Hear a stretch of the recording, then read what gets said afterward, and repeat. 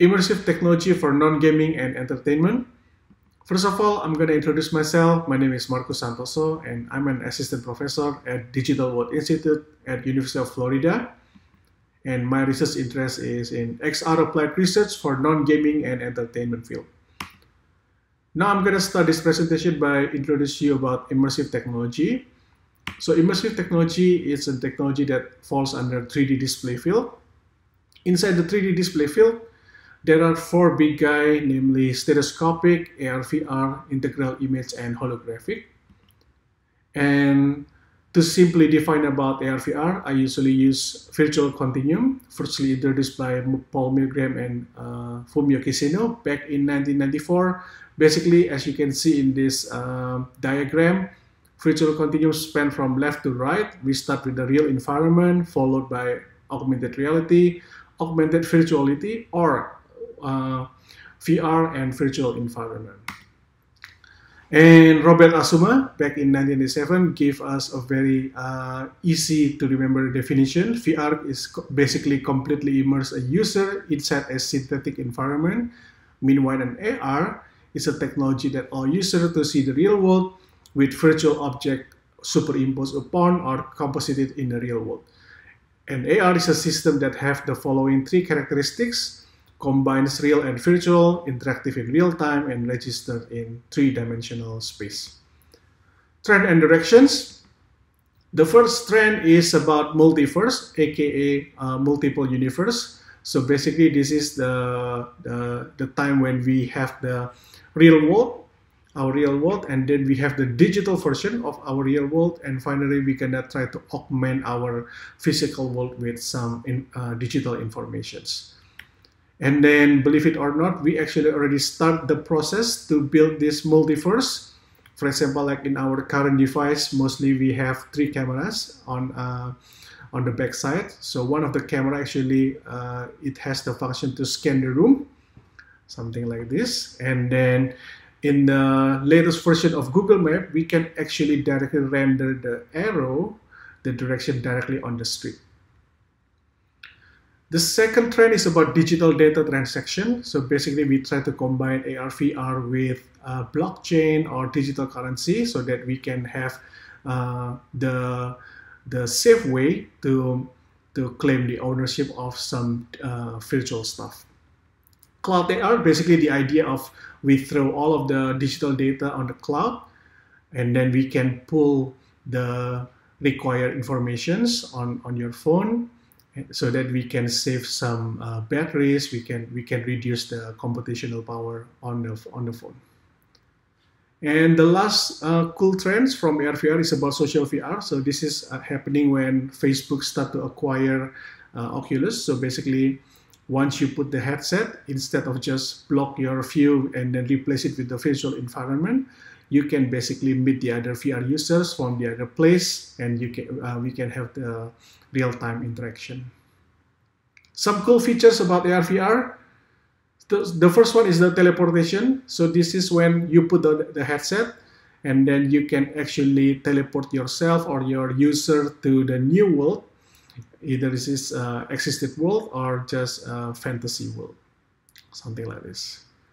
And then the other one is the spatial experience. So AR VR is the technology that can display the three-dimensional data slash information in the 3D, 3D uh, form. Unlike the whatever uh, media that we have, we actually compress the three-dimensional data into two-dimensional uh, platform like uh, pictures, photo, or video. But in AR VR, we can actually have the uh, volumetric data rendered in front of our eyes. And the, the other one is an experiential simulation. The latest VR headset it's usually occupied with the six degree of uh, freedom controller, and then we can also see the virtual object in three-dimensional uh, form. So it means we can have the uh, experiential uh, simulation with AR VR. And then furthermore, um, uh, the next the next presenter will will will will inform about uh, how we combine couple things in one of uh, our VR project. Thank you so much. If you have any questions, feel free to reach me at marcus.santoso at ufl.edu. Hi, everyone. Uh, my name is Cortino Sukotjo from the University of uh, Illinois at Chicago. And I'm working on this project with Dr. Marcus Santoso from the University of Florida. Today, I'm going to present some updates regarding our projects. Coronavirus pandemic has modified our daily life and create a new normal.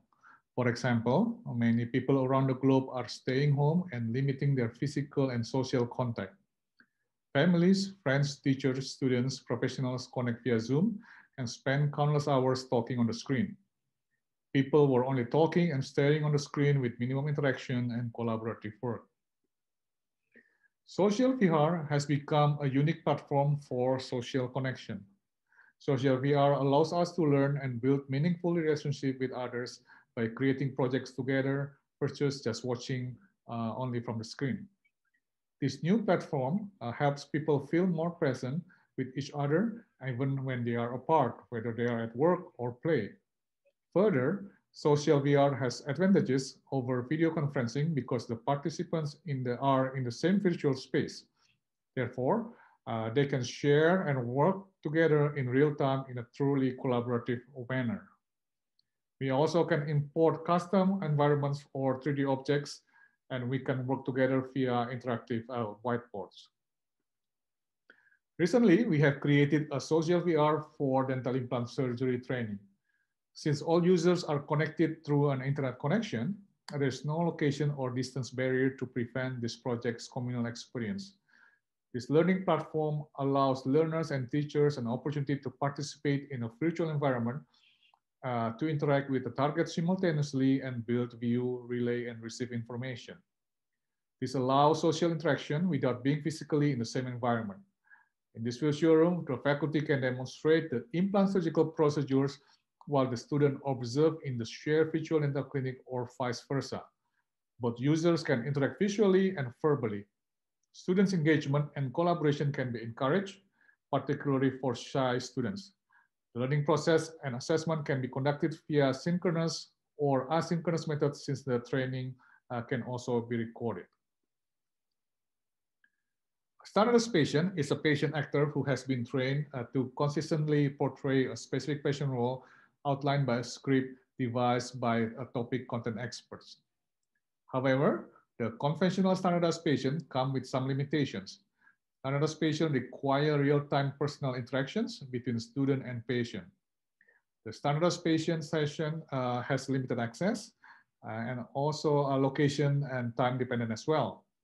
Further, we should not forget about the necessary human and physical resources associated with their use. Virtual patient has been commonly used in medical education to allow students for a unique approach in assessing essential skills such as history, take, history taking and clinical decision making. However, uh, virtual patient has not been utilized in dental education. We have recently uh, successfully de developed a virtual dental patient application that would enable dental students to practice their history taking, uh, communication skills, and empathy for patients. This application can also provide a learning tool that works for both off-site and on-site facilities. Uh, we have created two applications. The first one is augmented reality and the other one is virtual uh, reality. Good morning, Mr. Andrews. Is it? I've been coming here for two years and I still don't have proper teeth. We will have time to discuss that. Let's start with updating your medical history. I will now take your blood pressure. Why? I'm fine. I don't want you to take my blood pressure. I'm sorry, but this is the clinic's protocol. okay, fine.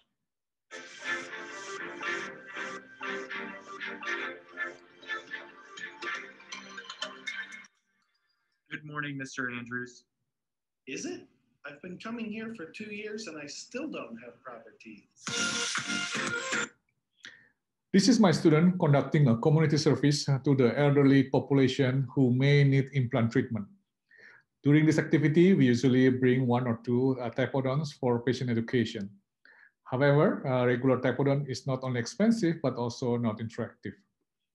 In this new AR application, we have uh, created a e-typodont that is more interactive and can provide self-information regarding implant parts and sequences.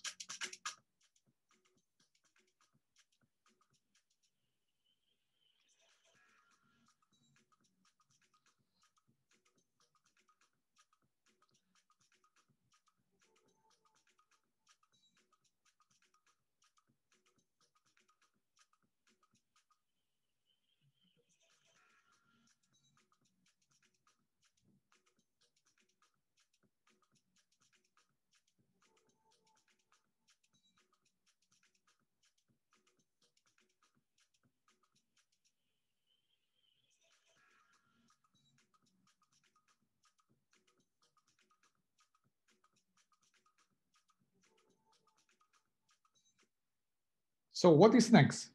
Currently, we are working on the use of uh, VR gloves and haptic machines to perform dental clinical procedures such as uh, tooth preparation.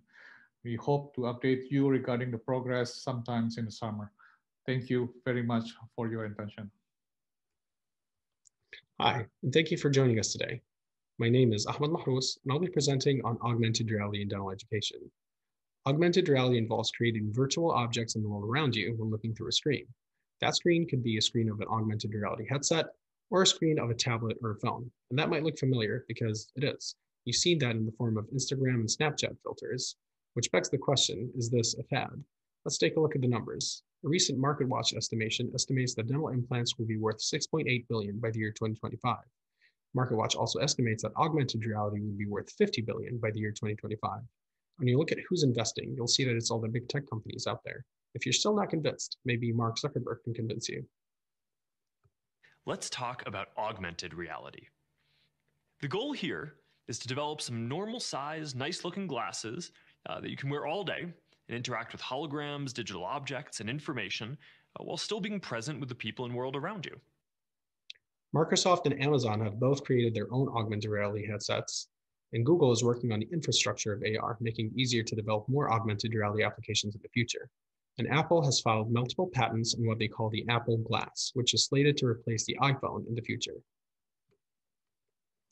When you look at AR in healthcare, you see a global startup hub indicating that there's over 576 AR healthcare applications in year 2020 alone.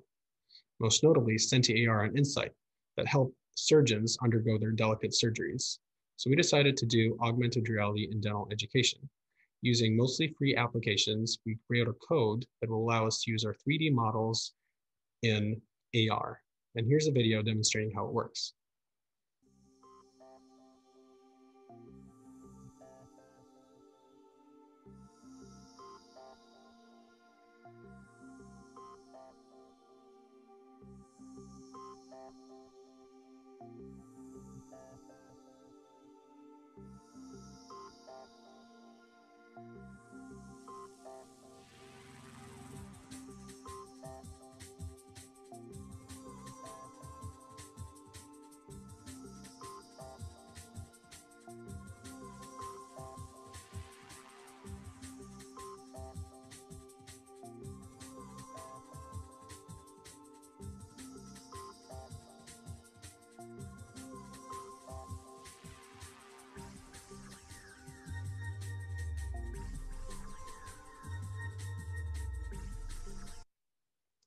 In this video, you saw the application running on an iPhone used alongside a generic AR-VR headset. The application uses AR anchors to control the 3D models. In the video, the anchors were diagrams on a disk. Those anchors can also be set on your hand or pictures on a phone. The application employs a stereoscopic view to allow for the realistic depth perception, with two images that come together in the brain to create a true 3D image. We've made some preliminary studies with findings indicating increased interest in technology. The possibilities include viewing AR models incorporated in reading material and lectures, or simply swiping through a phone to reveal AR objects. But perhaps the most interesting proposition is to have a hybrid virtual physical model that allows for a very realistic patient encounter. Couple that with a haptic feedback glove, you'll have a very realistic patient on your hands. And you'll think about how students learn and how they gain experience. You'll see the term associative learning Associative learning is the process by which multiple stimuli of a given experience, like tactile, sound, emotion, visual simulation, and facial recognition, can come together in the brain to create a lasting memory or experience. And this is where AR can come in. By creating a virtual objects in a real space, it can simulate reality and trigger various stimuli in the brain to create a more profound experience.